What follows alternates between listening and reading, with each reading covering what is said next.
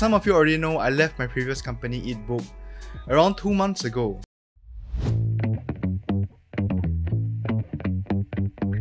When I finished army like all my peers, I was looking for a university to enroll in.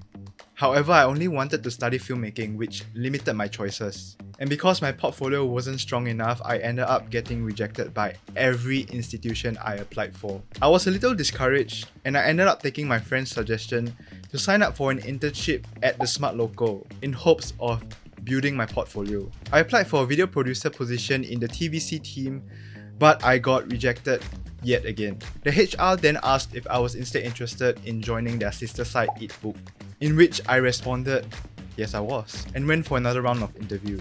I finally managed to secure an internship position at EatBook as a video producer, and with a little bit of luck, got offered a full-time position 6 months after. So with the full-time offer, I decided that I would put off my studies once again. I followed my guts believing that I had much more to learn in the real world than in school.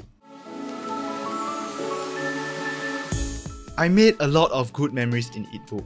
The people in my team especially made work so much more fun than it actually was.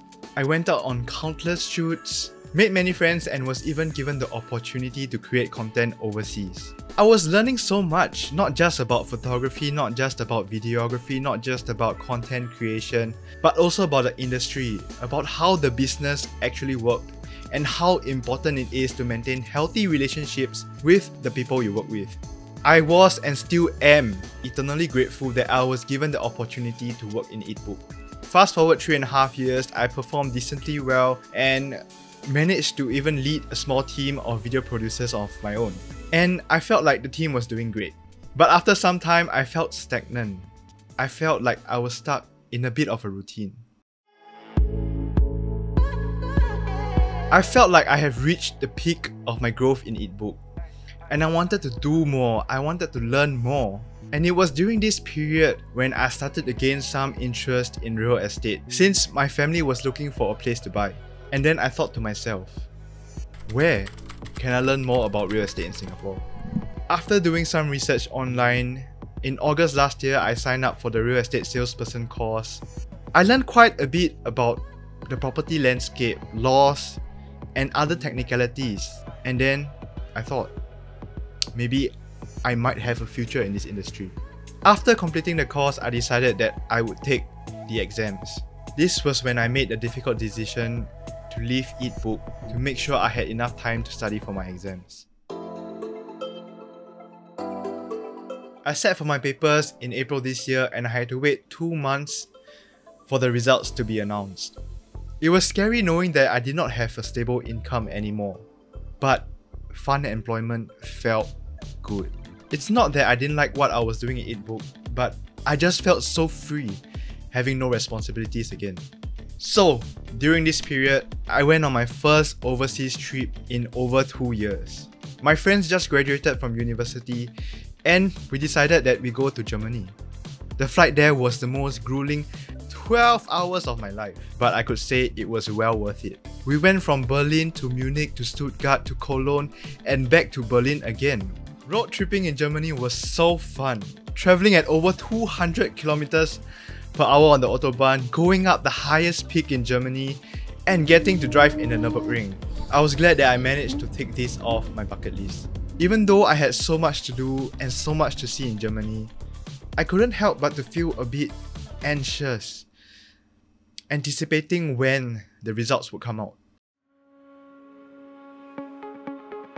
And just a few weeks ago, on the 9th of June, I received the best news I ever got in my life. Okay, might be a bit of an exaggeration, ah, but I passed the exam. Lah.